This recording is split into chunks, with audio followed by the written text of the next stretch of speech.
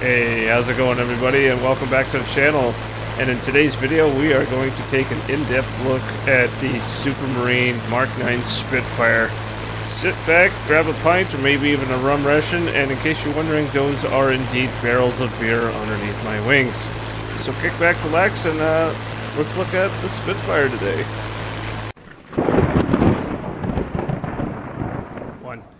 Now, before we dive too deep into this, I need to cover one thing. Uh, when you buy the Spitfire, or if you're on the standalone version of DCS and do the, the free two week trial, uh, not only do you get a Spitfire, you actually get a second variant that comes along with it, and that is the clipped wing version of the Spitfire Mark 9. So the clipwing variant gains uh, two advantages. It has a slightly faster top speed and a better roll rate compared to the normal wing Spitfire. Now, as with everything aviation, there are trade-offs with that. So while the while the clip wing flies a little faster and rolls a, a little bit better, its rate of climb suffers its service ceiling is lower than the normal wing Spitfire. Its turn radius is larger than the normal wing Spitfire, and the stall speed while in a turn is different too. You'll you'll stall the wing on a clip wing Spitfire sooner than you would on a normal wing Spitfire. So that's just something to be mindful of. But you do have both versions of this whenever you buy the Spitfire. Now, regardless of if you fly with the clip wing version or the normal wing version, they both operate the exact same way. So I'm only going to cover the normal wing Spitfire, but I did want to highlight the differences between the two before we get into this. All right, here we are in the cockpit of the Spitfire. Now, compared to the North American airplanes, uh, the Spitfire is a lot more simplistic. And at the same time, a lot of the controls are kind of scattered around the cockpit once you get familiar with the layout, it's it's pretty easy to find stuff once you know where to look. Starting with our cockpit controls, we're actually going to turn around and look all the way behind us because there's a pretty significant control here at the back. Uh, this black pull handle, that is the canopy control, and that's how you can open and close the canopy just by simply turning around and clicking on on that. Your pilot will pull the canopy closed, and it's the same thing to open it. Uh, that red ball there at the top, that is the emergency canopy release. So if you have to bail out, that is probably the control you want to pull first and get the canopy clear of the aircraft. Also, uh, right above it is we have a rear view mirror. Pretty important for checking six and if you're in a turn fight to see if anything else is coming up on your tail. Pretty useful. Alright, moving on to the left hand side of the aircraft. And we have a side door on the left hand side of the Spitfire and you can open it by clicking this particular handle right here and now your door's open uh, nothing that you want to do in flight and unfortunately with the door down now you can uh, click the handle so you have to map the control in order to bring it back up all right just below the door you got two wheels uh, for your your two trims uh, you only have a rudder trim and the elevator trim. All right, moving underneath the trim wheels, we have this column of switches, and this is an introduction to push buttons in the Spitfire. So almost every push button inside the Spitfire has a protective guard on the top of it. And even if you have that particular button or control mapped to a joystick button, uh, it will you are still required to flip open the covers in order to access the button. It's one of the it's one of the quirks of the Spitfire, and to an extent the Mosquito as well. They kind of follow this same same design. All right, so at the top we have the oil dilution button. This button, uh, after the engine is running, and if it's really cold outside, you can push and hold that button for 10 to 30 seconds. And what that does is it actually squirts gasoline into the engine to help thin out the oil to keep to help reduce your oil pressures down to a manageable level. Below that, the second button down is the supercharger test button, and I'll demonstrate that whenever we are when the engine's running. But what that does is it tests that the supercharger will shift into high gear, and then the bottom button is the radiator test button, and not very useful for in flight. However, as you push and hold it, it forces the radiator flaps open on each wing. And I'm showing that here on screen right now. So as you hold the button, the radiator flaps will open. And then once you let go of the button, they'll come back closed again. All right, moving forward of that, we have three toggle switches. Now, for those of you familiarized with the North American way of switches, like especially light switches, uh, normally up is the on position and down is the off position. In a general sense, that is reversed over in Great Britain. So up is the off position and down is an on position. So, all right, first one is labeled radiator flap, and what this does is right now it is set to auto, so the radiator doors will open and close as needed based on the engine temperature. Uh, if you flip the switch to down, what that does is forces the radiator doors to their full open position. In case you got an overheat situation you're dealing with, that will force the doors wide open. Uh, second switch here forward is the pitot heat. It keeps the pitot probe underneath the left wing from icing over and causing an airspeed um, airspeed indication problem. All right, forward of the pitot heat switch, you have the fuel pump switch, which is only used when either the engine is running, or you have the uh, the fuel cutoff pulled all the way back, which it is right now. And I'll detail uh, fuel pump usage when we get to the uh, to running the engine. All right, next we have a black lever that's just on the side, and this is for the carburetor air filter control. Uh, if you are on a grass or dirt airfield, you'll probably want to set this forward to filtered air for your engine for all ground operations. Once you're airborne, you want to you want to put this handle in the aft position for your ram air. And that allows ram air to come in through the, the air scoop that's on the chin of the aircraft. Moving forward of that, we have the throttle quadrant. Uh, this first lever all the way outboard is the fuel cutoff. Uh, with it in the aft position, the fuel there is no fuel that is able to flow through the carburetor into the engine for run. To get the engine running, we'll have to flip this forward to the run position, and this uh, and this one being cut off. All right, inboard of that we have the main throttle. And then inboard of that, we have the propeller lever that controls the RPM of the engine. Throttle will control the manifold pressure. Uh, moving up the canopy wall on the left hand side, we have the radio. Uh, it's a four channel radio. You cannot change the frequencies. The only place you can change the frequency of the radio's channels is in the mission editor. Uh, once you are in the aircraft, you cannot change the frequency. You can only change the channel of the radios. And it has your uh, top button is off, that shuts the radio down entirely, and then you have your four channels Alpha, Bravo, Charlie, and Delta. Moving on to the instrument panel. I'm starting at the bottom corner. We have two toggle switches, and this kind of runs counter to the up is the off position on most switches. On the magnetos, up is the on position. Uh, this controls both your number one and number two magneto that fires the spark plugs in the lovely Merlin engine that's uh, up forward. Just to the right of the magneto switches, we have the a triple gauge that has three needles on it. The upper needle, which actually spans a full 180 degrees uh, left to right, that is your main air pressure for your uh, for your pneumatic system uh, the pneumatic system runs your your wheel brakes, your supercharger gear shift, the gun firing mechanisms in both the machine guns and the cannons, as well as your flaps. So that's a pretty important system in the Spitfire is your uh, pneumatic system. Uh, the two gauges on either side on this triple gauge that are labeled port and starboard, that is the air pressure going down to your wheel brakes. And the the wheel brakes in the Spitfire are very unique, and they are going to be their own little segment in this video. A little uh, uh, just after I go through the cockpit tour.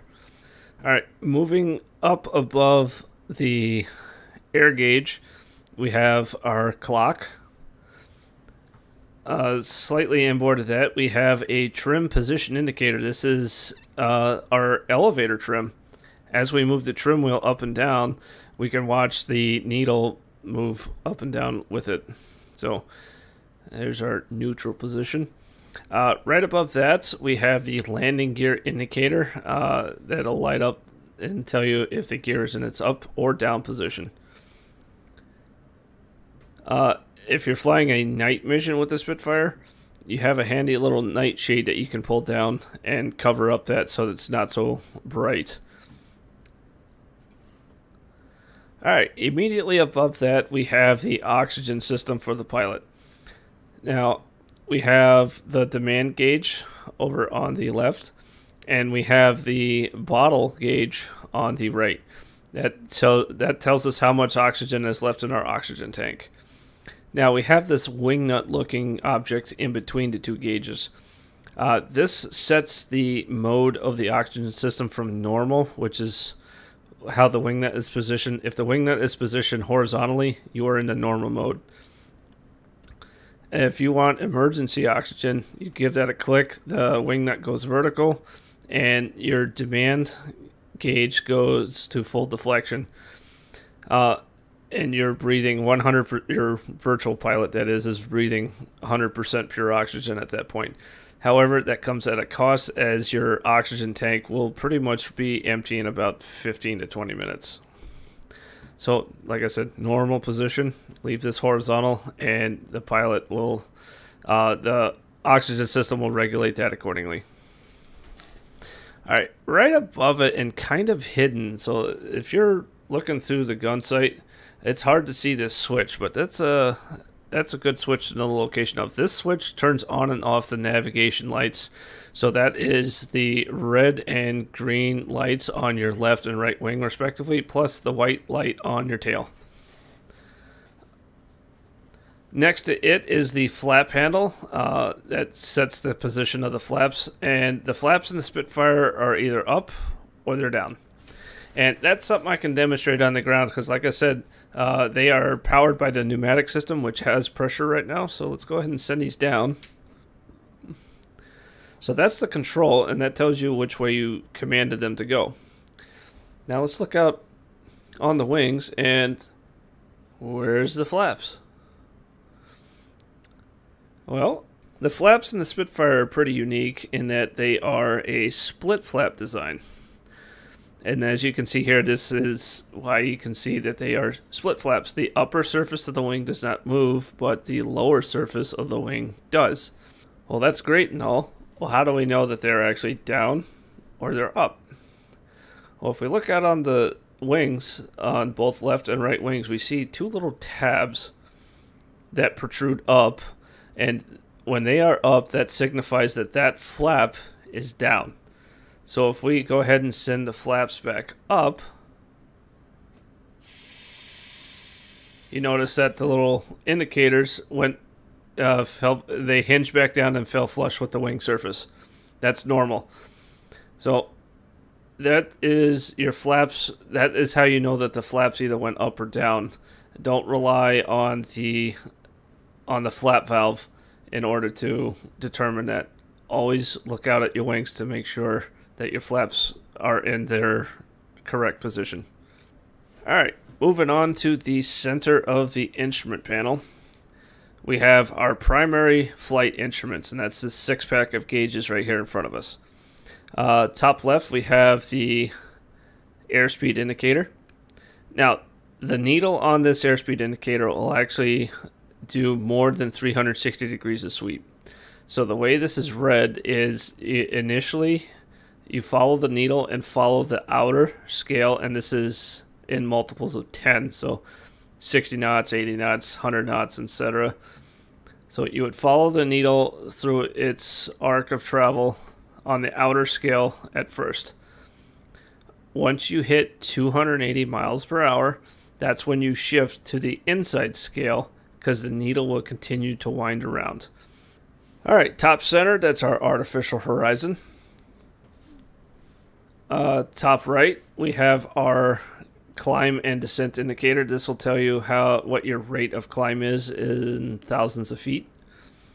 Down on the bottom left, we have the altimeter. Uh, the only nuance with this is your altimeter is set by millibars. It is not in inches of mercury. It is in millibars. All right. In the center, uh, bottom center, we have our directional gyro.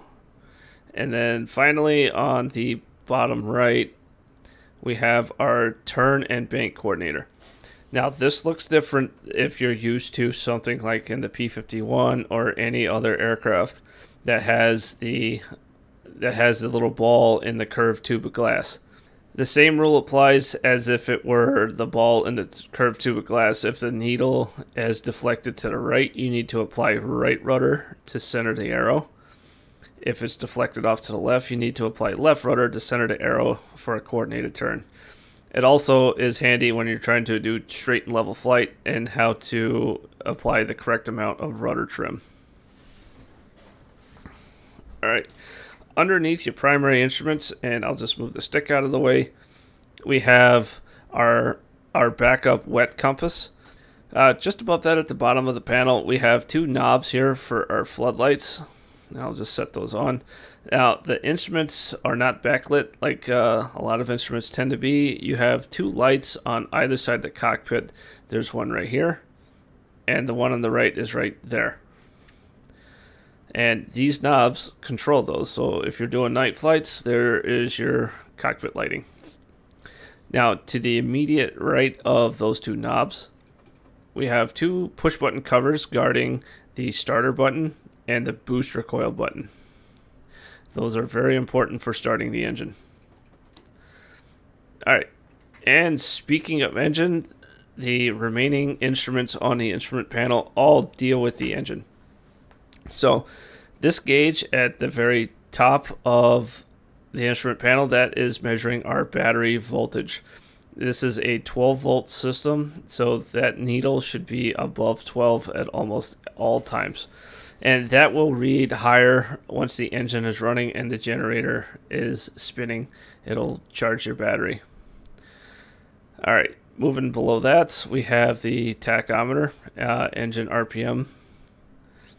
Uh, below that, we have a switch with a uh, with a indicator light next to it. This is your supercharger control, and with the switch in the down position, the supercharger is automatic. And once you climb past the supercharger changeover altitude, which is roughly oh, between 14 and 16,000 feet, depending on environmental conditions, but somewhere in that altitude range, the supercharger will shift from its low speed to its high speed gear so it'll provide more boost pressure for your engine so you could uh, climb to higher altitudes.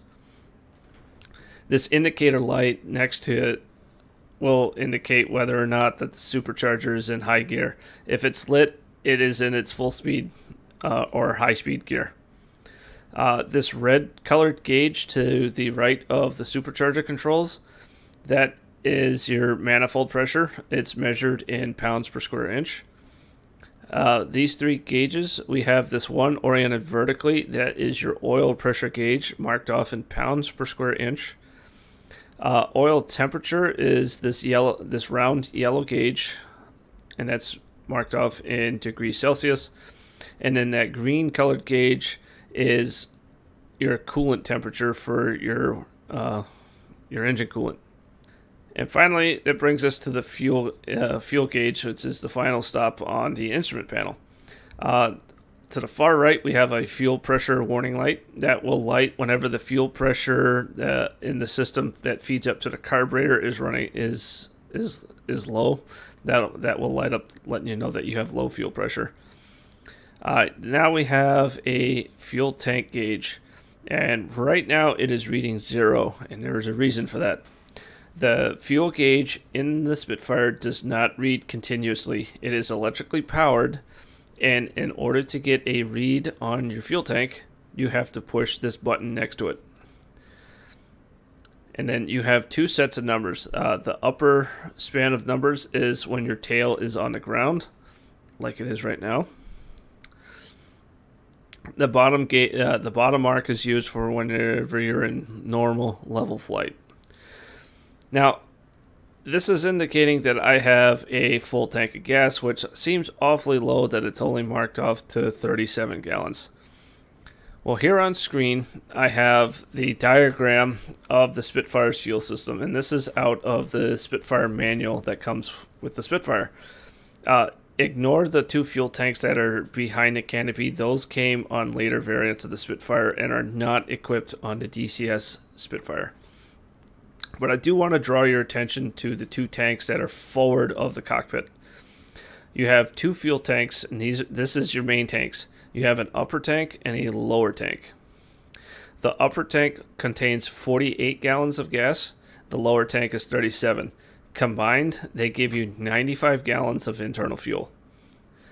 Now, whenever you push that button on the dashboard that to have the fuel gauge read, if it goes to full deflection at 37 gallons, that is telling you two things. First, that your lower tank is full of fuel and that your upper tank has an unknown quantity of fuel in it. And you can kind of guesstimate that based on how long you've been flying. So the upper tank drains to the lower tank. So as fuel is burned, the upper tank is what empties first than the lower tank. The only time you'll get a read on the lower tank is whenever the upper tank is empty and you've drawn down a little bit of fuel out of the lower tank. Alright, moving on with our cockpit tour. Uh, move the stick out of the way again. Just to the right of the wet compass, we have this main fuel valve. Uh, right now it's set to off, but in order to turn on the gas tanks or to open a valve to feed the engine, you have to set this to on. Uh, off to the right is the fuel primer, which you have to use your mouse wheel to unlock and prime the engine for starting. Uh, and off to its right, you have this one valve that's marked fuel tank pressure off on. Alright, so a quick talk on fuel tank pressurizing. Gasoline readily evaporates, and it does so a lot easier up at higher altitudes. Now, to prevent the fuel from vapor locking the engine at high altitudes, uh, some compressed air could be used to pressurize the fuel tanks. And that's what this valve controls. So once you make it above 16,000 feet, you want to open the fuel tank pressure in order to keep your engine running properly at high altitudes. A word of caution is this tank pressurization does interfere with the self sealing capability of your gas tanks. So if you get a hole in your gas tank, it's very good idea to turn this off if you have it set to on. Uh, normally at low altitude flights, takeoff, landings, this is set to off. Uh, moving up above that, we have a few things here. Uh, we have this little black electrical switch gear here, and these control some marker lights that are on the top and bottom of the aircraft, and they are white colored lights and you also have a telegraph key. So the forward switch controls the the belly light. The upper uh, the the switch towards the back controls the upper light, and you can set them to that they're continuously burning, off or controlled by this telegraph key, and with them set to the uh, Morse position, you can you can send Morse code to your buddies. Moving further aft of this, we have this fuel pump here. This is a mechanical fuel pump that is only used to pressurize the fuel system. Now, what is the name of this thing? Wobble, wobble, wobble, wobble. Wobble pump. Oh, yes, the wobble pump. Thanks, Bonk. Alright, so that is used to pressurize the fuel system, and I will demonstrate this thing's use uh, when we get to the engine starts. Uh, this is a leftover from the earlier versions of the Spitfire that was then taken the place of by the electric fuel pump. The Mark 9 has both systems, and either one will work for you. So if you use one, uh, pick one over the other. Don't use both. All right. Underneath that, we have the landing gear lever, which is right here. We have a couple more switches. Uh, this black uh, valve handle here, this is controlling the fuel from an external tank. You can only hang one tank on the Spitfire, and that's on the belly. Uh, this red handle immediately behind that will will drop the, whatever drop tank that you're carrying. Uh, we have a pair of toggle switches for the IFF destruction that I don't believe is modeled within DCS, but you can still click on them. Uh, we have a windshield de-ice valve, which I don't think has any function within DCS, but you can toggle it. All right, and the last stop on our cockpit tour is this carbon dioxide bottle that's bolted to the cockpit wall with a red valve handle. What is this for? Well, this is for deploying the landing gear if the hydraulic system fails. So if you put the gear handle in the down position and the gear either doesn't come down or fails to lock, mostly because you have sustained some level of combat damage, well, in order to emergency drop the gear, you need to make sure this handle is set down and then open this valve. And that will blow down the gear so and hopefully affect a good landing for you. All right. Well, there is the cockpit tour. Let's move on to brakes. All right, so let's talk about the brakes. The brakes in the Spitfire are very unique. Uh, you do not have toe brakes as is found on almost every other aircraft. Uh, the brakes are powered from the pneumatic system and are controlled by this handle that's on the back of or the forward side of the control column, which is moving right now. Looks like a uh, what you would find on a motorcycle. I want to call your attention to the brake gauge that I highlighted earlier. I'm going to keep the brake handle in view as and then I'm also going to pull up my control overlay right there on the bottom left of the screen. So in DCS, I don't have a hand control on my joystick for the brakes. So I have assigned my toe brake axis on my rudder pedals that sit underneath my desk. So I have a map to both the left and right toe. So as I push on the brakes, and you can see that on the controls overlay, and the further I push down, the more the handle pulls. Now, if I call your attention to the pneumatic gauge, and you can notice now that there is air pressure showing on the brakes, both left and right. So eh, that has activated both brakes equally. And if you let and if you ease off that handle, the brakes release and the air pressure is released as well. Now, if you notice that the air pressure in the system has steadily dropped as I've used the brakes, that is normal uh, for the tank to bleed down if you use the pneumatic objects. The engine is not running, and the engine has a compressor on it that recharges that air cylinder. All right, so how do we get differential brakes? Well, this is where you really got to pay attention and learn how to taxi a Spitfire because this is a interesting system, like I mentioned before. In order to get differential brakes, you have to input some rudder first and then activate the brake handle.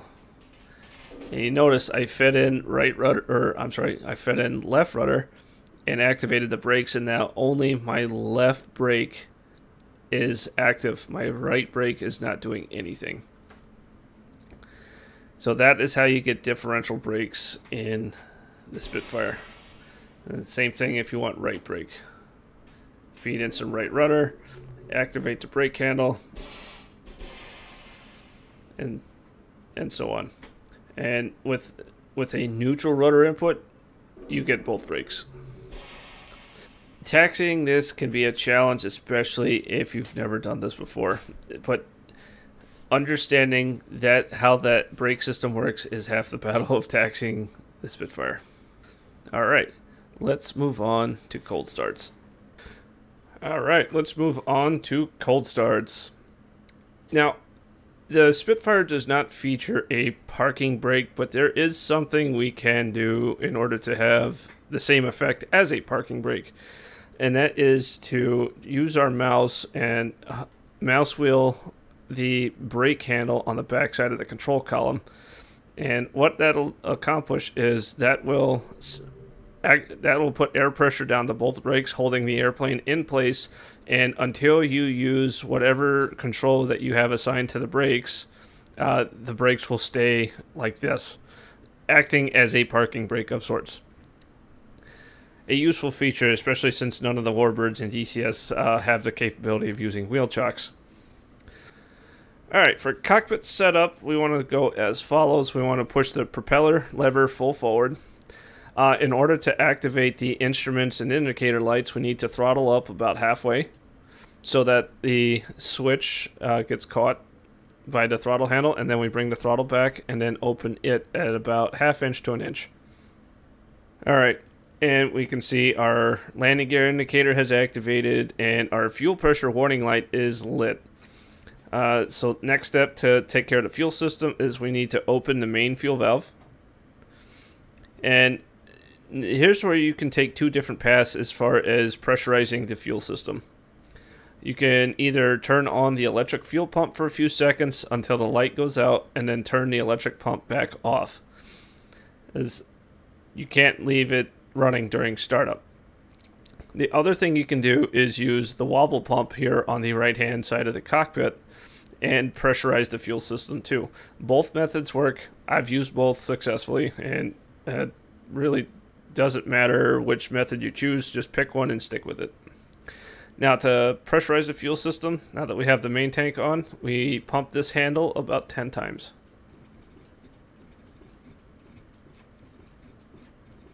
Ten. And the light went out, meaning our fuel system has been properly pressurized. Alright, next we need to prime the engine and it's a nice warm summer day out so you will need uh, normally you would need between 4 and 10 shots of primer.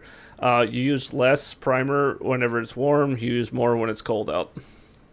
So we put the mouse wheel over the primer and unlock the handle and then we give this about 4 pumps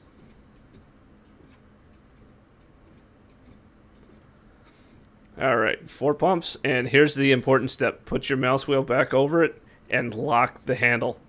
If you forget to lock the handle, it's very similar to what happens in the P-47. The engine will run funny afterwards. All right. Next, this is, this is easily overlooked, but you want to turn on both magnetos. One and two. All right, so prop lever, throttle, fuel system, check. Make sure we have gas in the tank. We do.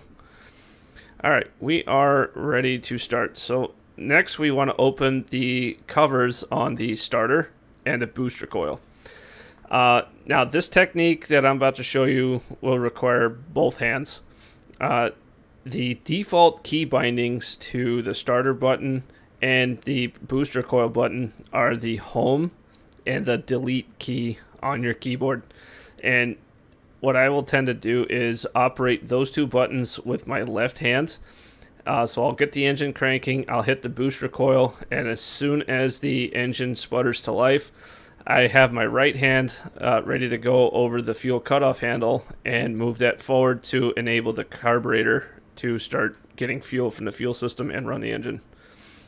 Alright, so let's see how this looks. So I'm going to start cranking the engine holding the home button and booster coil.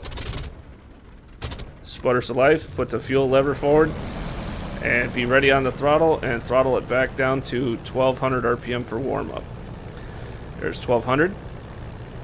We notice a drop in pressure on our manifold gauge, that's normal. We have a rise in oil pressure on our oil pressure gauge, indicating about 90, about 100 psi right now. Uh, oil temperature is about 20 degrees. That should start rising. And the water temperature is just below 40. Alright. Items to do after startup. Now we uh, cover the starter and booster coil caps. Uh, we can set our compass. Like so. And just take a quick gander around the cockpit, make sure everything else is looking normal.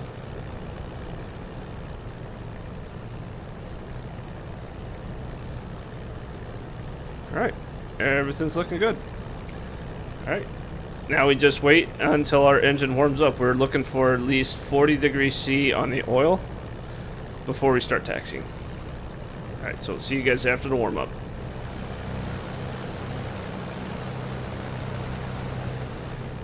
Alrighty, there's 40 degrees C on our oil temperature, and we are ready to taxi. Alright, now for taxi, like I mentioned during the brakes segment, uh, this is an acquired skill in the Spitfire. Uh, as you have to feed in rudder and manipulate the brakes in order to effect a turn. Uh, I'm going to pull up my controls overlay so you guys get to see exactly what I am doing. You guys can see my brakes are currently active, as you can see on the slider bars there. Alright, it's just a short taxi off to the runway off to my left there, but you guys get at least get to see the process. Now, one thing to keep in mind, uh, the rudder the rudder on the Spitfire is pretty large and it's in the slipstream of the propeller. So, given that, you can make minor corrections when you're traveling in a straight line. You can actually swing the nose left and right use, using the rudder alone. If you have to make a major correction to your direction though, you have to use the brakes. Alright, let's come off the brakes. After you start rolling, you can probably throttle down. If you stay at 1200 RPM, you're gonna get, you're gonna start going a little fast. All right, left rudder. Let's start swinging the nose over, and then to come back in a straight line, feed in opposite rudder and use its brake.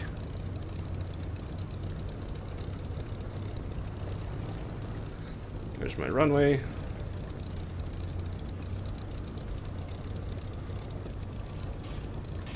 Look through my turn.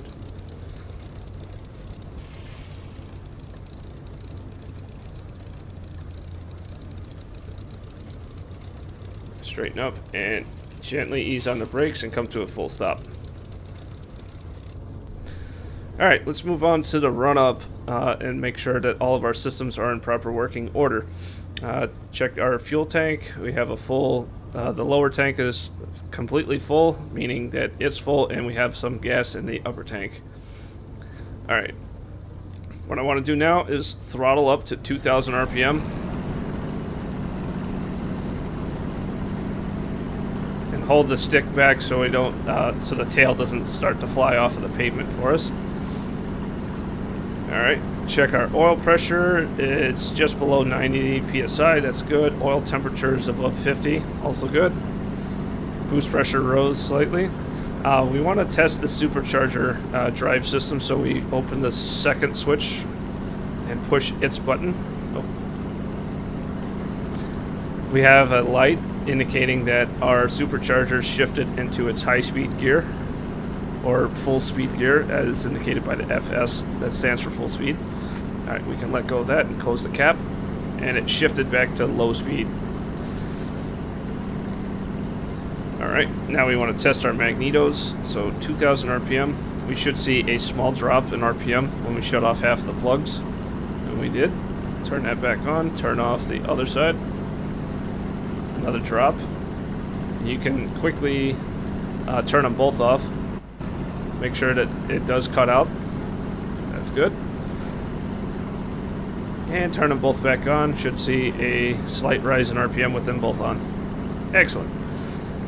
Check the air pressure system. The engine's running, so that should maintain good pressure. The uh, tank pressure should be pretty much straight up and down.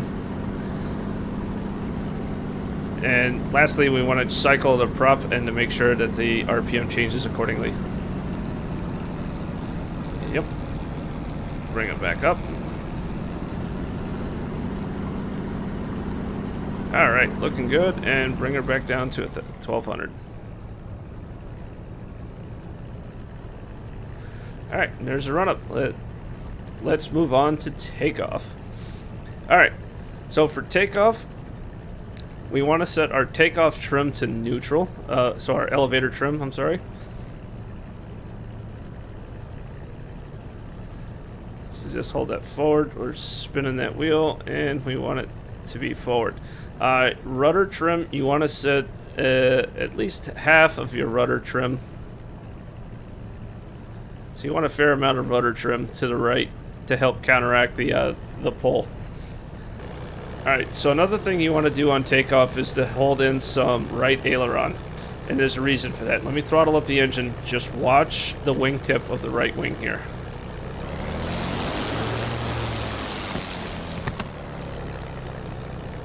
You notice that the wingtip rises whenever I throttle up. That's in response to the torque of the engine. So, to counteract that on our takeoff roll, we want to put in a little bit of right aileron. Just a little bit. You don't need a whole lot. Because as you do your takeoff roll, once you lift off into the air, if you if you're not already holding in a little bit of right aileron, you're going to start a bank to the left. So this is one thing to do to counteract that, and during your takeoff roll as well, so you don't veer off to the left either. All right, everything's looking good. One last check around the cockpit. Alright.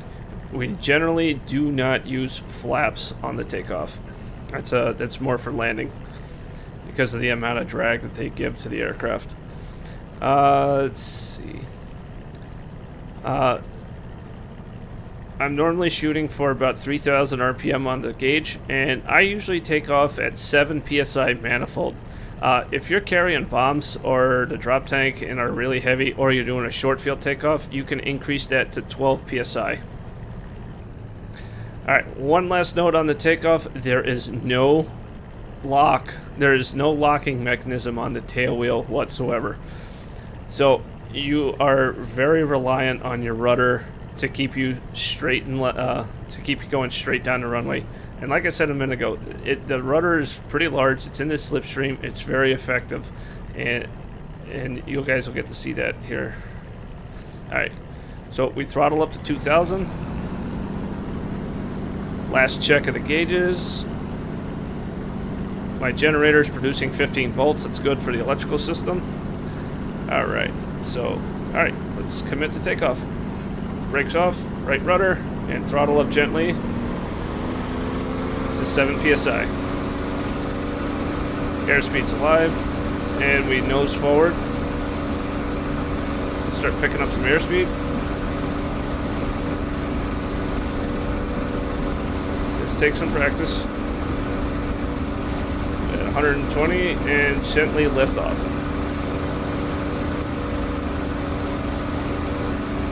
Alright. Airborne, positive rate, gear up gear handle comes up. Now the down light extinguished, meaning the gear is in transition. Now our up light is lit, meaning the gear is up and locked. So at this point, I have a good amount of altitude, I got a good amount of airspeed. I want to bring the RPM back, and now I can do a to 2,650 on the RPM. I'm already at 7 psi on the boost gauge, and we are at max continuous in order to affect the climb.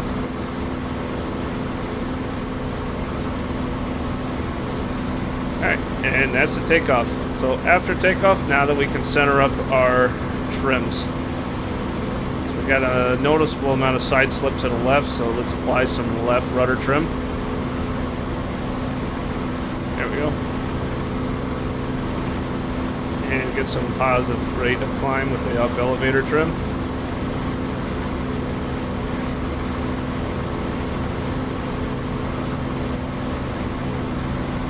Alright, at this point we also want to look over our instruments. We have 80 degrees Celsius on the oil temperature, about 100 degrees Celsius on the coolant temperature, that's perfectly fine. Go to oil pressure, everything's looking good, and we still got a full tank of gas. Alright, that is the takeoff, everybody. So, like I mentioned before, you got 48 gallons in the upper tank, 37 in the lower, that's 95 gallons total. Not a lot of flight time, and that's not necessarily a huge problem because the Spitfire is, uh, with this V12, it's pretty efficient. You can you can move quite a long ways with just uh, 95 gallons of gas. Alright, well what if you want to go farther? Well, they have drop tanks. So the Spitfire can be fitted one with one of two drop tanks. You have the slipper tank shown here on screen. you also have the torpedo tank. Now, both tanks each hold 45 gallons, so you don't gain any extra fuel by using one over the other. Uh, the slipper tank may be slightly more aerodynamic than the torpedo tank. I personally haven't noticed a huge difference between the two. Take your pick on that if you're taking a drop tank. Alright, so how do we use the drop tanks? Well, we look down next to our seat, we locate the drop tank fuel valve, which is this black handled uh, lever right here. We have to first turn on the drop tank, and then we turn off our main tank. And as long as your engine stays running, you have fuel in the drop tank. There is no way of knowing how much gas is left in the drop tank until your engine starts to run rough and quit like it just ran out of gas. And that is literally because your drop tank is out of gas. Alright, that's what it sounds like whenever your engine is running out of gas because your drop tank just went dry. Alright, so in order to switch back, we need to turn the main fuel tank back on, turn off the gas tank, engine recovered on its own, and then, then we can pull the handle and drop, get rid of the drop tank. Now, if you need to, sometimes you may have you may have a low pressure light. hit the wobble cup, wobble pump a few times, and that'll bring your fuel pressure back up.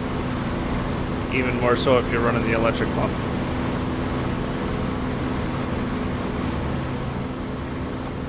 Alright, let's talk about power settings for this engine, and that's, uh, that's a key piece of running the Spitfire. Alright, so it's always a combination of your engine RPM settings and your boost pressure. Now currently I am at maximum continuous on the engine. That's the power setting I can run all day long as long as I have fuel. That's 2650 RPM on the tachometer and 7 psi on the boost pressure gauge, right about there. Alright, so what about combat power? Well, like I mentioned earlier, we first want to increase our RPM. So combat power,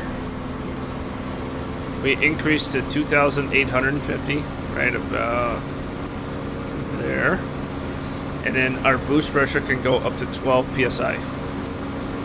We can sustain this power setting for about an hour before suffering any uh, engine damage. Now, if we needed more power than this, like if you're in the thick of combat being chased by a BF-109, if you need more power, you can go to War Emergency Power.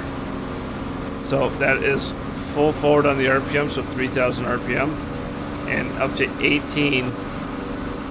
So I'm up at altitude, I can't get 18 pounds of boost out, but I'm at 16. Uh, 18 is this little tiny arrow at the bottom of the gauge. You can sustain this for about three minutes before you have to back out of it and come down to a lower lower setting. Alright, now maximum continuous is not the most fuel efficient of modes. So we can reduce our power to a lower level and really cruise a lot farther. So uh, one of the easiest ones to remember is, I call it the rule of twos. Set 2 psi on the boost pressure gauge, and then 2200 RPM. So again, that's 2 psi and 2200 RPM on the boost pressure. You can fly for a little over two hours using uh, the internal gas and the drop tank. So this is this is a pretty good power setting. It's a good compromise between fuel efficiency and speed. Alright, here we are up at altitude. I'm about 14,750 feet, and I'm about to demonstrate what it looks like when the supercharger kicks into its high speed, or its second gear. Alright, so I will come off of active pause, and let's do this. Come on, baby. There's that side slip. trim that out. Now, as we climb up higher and higher, pay attention to both my boost pressure gauge, which is at about 7, and the supercharger light.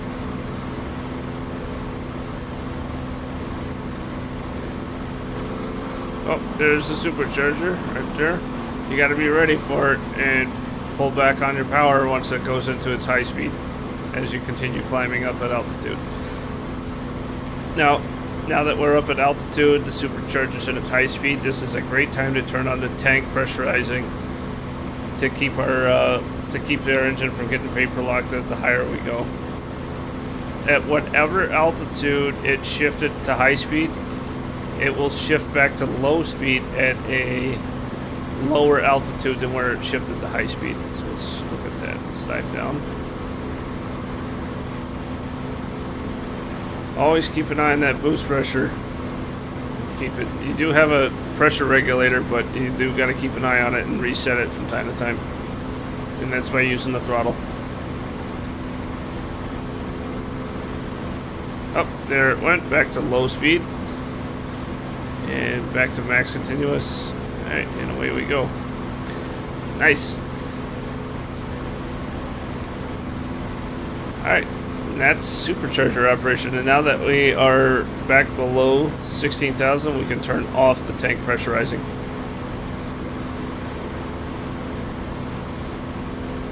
Alright, let's talk about combat employment.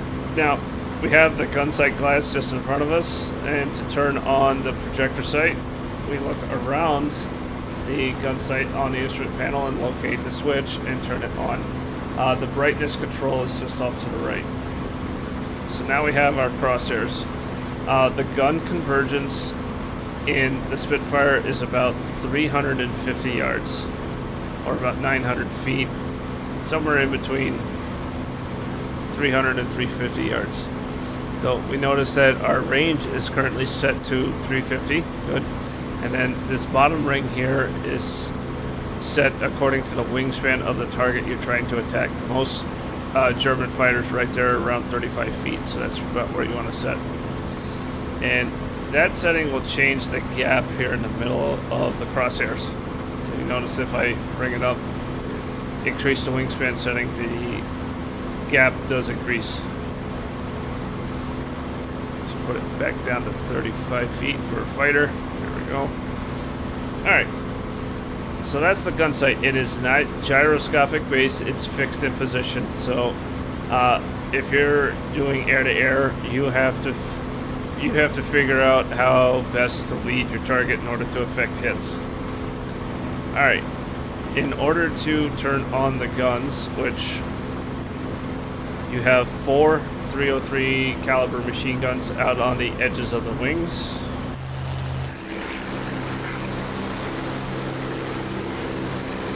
And two 20 millimeter cannons located more uh, more middle of the wing. Now, in order to turn this on, you have to you have to uh, disengage the gun safety, and you can tell that you did that by looking at the top of the control column. You got this little pin that pokes out of the top. If it's poking out, your guns are ready to fire and you can set them up to various triggers in the uh, controls menu. I have them set so that one trigger is my machine guns, another trigger is my cannons. Now, the 303s aren't very large rounds. They're, they're a lot smaller than the uh, 50 calibers, so they don't hit as hard. And even though that they are smaller, you don't carry a lot of them. You only get 350 rounds per gun. Uh, you get about 120 rounds, if I have that correctly, for the cannons, for each cannon. So, not a lot of 303s, but those cannons can definitely hit hard whenever they whenever they do hit. But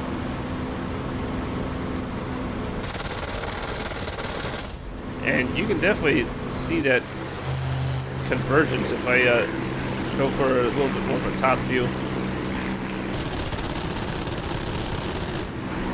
With those with those guns out farther out on the wing, their convergence is a lot shorter than what the P-51 is.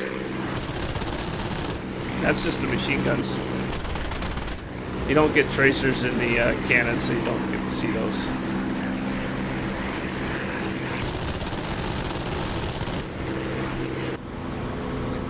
And that is the machine guns.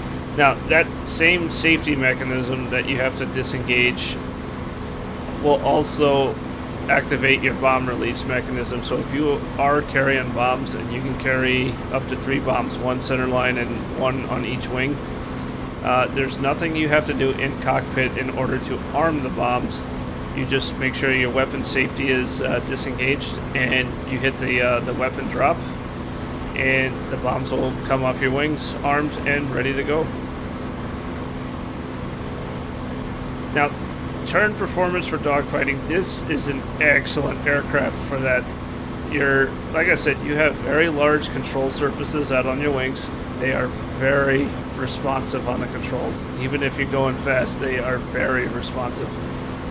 Uh, and like I mentioned before, if you have a shorter joystick, you will find this aircraft incredibly responsive to other stuff. So, let me show you, like on my controls overlay, I'm not moving the stick very far to do good rolls. So if I go full deflection, which I almost never do, that's pretty impressive. And very same, if, if I get into a turn and pull hard, she has a very, very tight turn. But like I mentioned, your gun sight does not move. It's not a gyroscopic gun sight like the American uh, uh, gun sight. And you can definitely tell you need to lead your targets.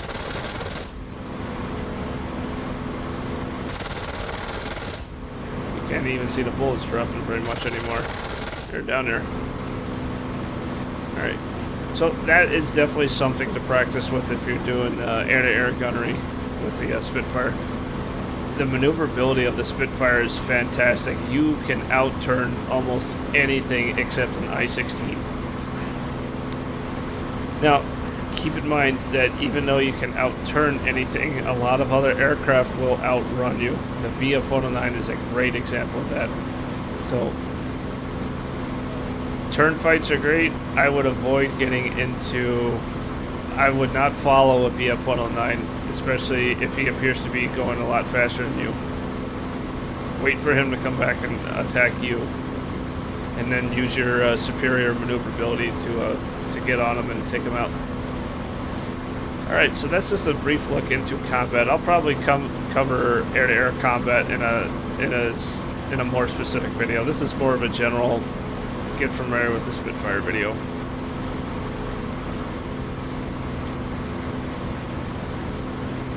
Alright, let's move on to landing, and this is the thing that held up this video for a lot longer than I wanted it to. Landing the Spitfire is a challenge.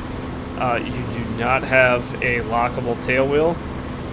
It is very easy to ground loop this aircraft, and with how narrowly spaced the landing gears are, it is very easy to tip this thing over on a wing landing this thing is difficult. It will take a lot of practice and a very light touch on the stick, which uh, I'll bring up my controls overlay again and let's look at this. So what our goal here is to slow down and get down to about 160 miles an hour minimum in order to drop down the landing gear or the flaps. And if you forget that, there's a little note on the instrument panel that says not to drop your flaps below or above 160. Alright. So, I'm going to come off active pause, and what I want to do now is I want to throttle back and get my boost low, and bring my engine RPM up, and this is going to have the effect of slowing me down. There we go, about 2850 and I'm going to bank off to the right a little bit. Give me some separation from the runway. Which is right there. Drop down some altitude. Alright my airspeed is below 160 so I'm going to drop down the gear. Gear handles down gears in transit because the up light went out and now my down light is locked bring back in some throttle keep my airspeed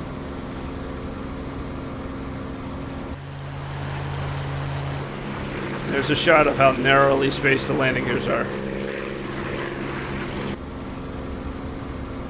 Alright. Go ahead and drop the flaps. And I want to maintain about between 100 and 120 in the pattern. It's slower than the uh, than the American uh, aircraft like the P-51 or the P-47. Keep my airfield in sight. Nice gentle turn. You notice I'm not moving my stick very much.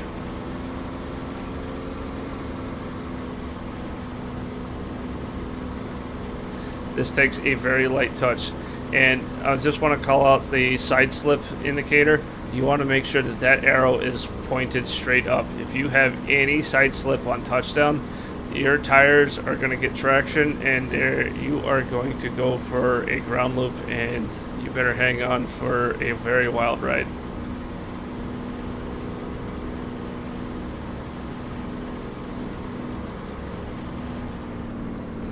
That landing speed is pretty slow, uh, almost down to 60 miles an hour depending on your weight.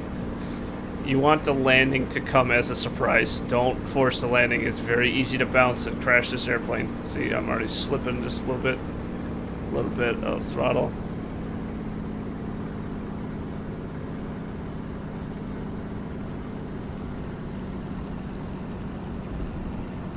A slight bounce, cover, and down.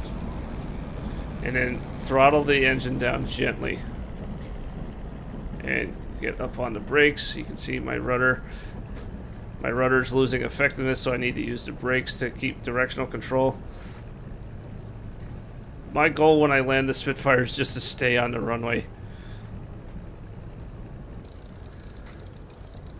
Now, as I'm pretty competent in the P-47 and P-51, uh, landing this thing was a significant challenge for me personally. It, it took a good week of practice just to get to that point where I could have a good landing for the video. Is uh, like I said, it is very easy to have too much side slip on the landing and you end up in a ground loop or you tip a wing over and scrape the ground with it or even worse, uh, jam up on the brakes too hard and tip the nose over and wreck the engine. Yeah, let's just taxi over to parking. Uh, another thing, do not be afraid of the grass. Uh, all the warbirds can taxi across grass without getting stuck, unlike some of the jets. So if you've ever run into that with the jets, it is not a problem with the warbirds.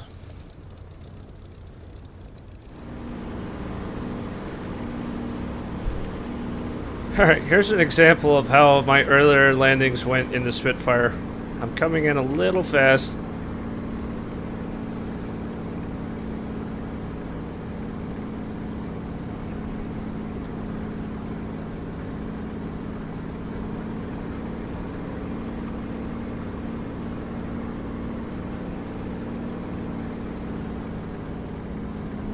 Touching down a little too fast, bounce,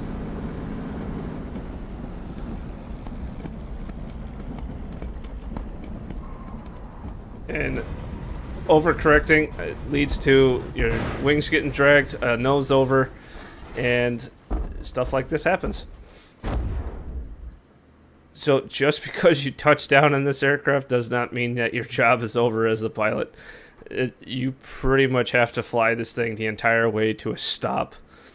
So it this is probably one of the more difficult warbirds to land but once you get the hang of having a light touch on the controls, letting her land when she wants to, and just maintaining directional control down the runway, uh, you guys will. It, it's very rewarding once you hit that point because uh, this is what held up this video for the longest time is just getting that landing down. Alright, now in order to shut down the Spitfire, what we want to do is throttle up to 1500 RPM. And then hit the fuel cutoff lever. Increase the th full throttle as the engine winds down. That clears all the fuel out of the intake and the cylinders, makes it safer for the ground crew. And engine comes to a stop. Now we can throttle all the way back. Come off the brakes. And we can shut off this little switch. It turns off all our cockpit instruments. And we can turn off our main fuel supply, turn off the magnetos, and we are done. Alright everybody, that is an in-depth look at how to operate and fly the Spitfire. Uh, I will be featuring this more in future videos. I'll probably do a combat employment video as well. With that, thank you guys for watching. Hope you enjoyed this, and we'll see you in the next one.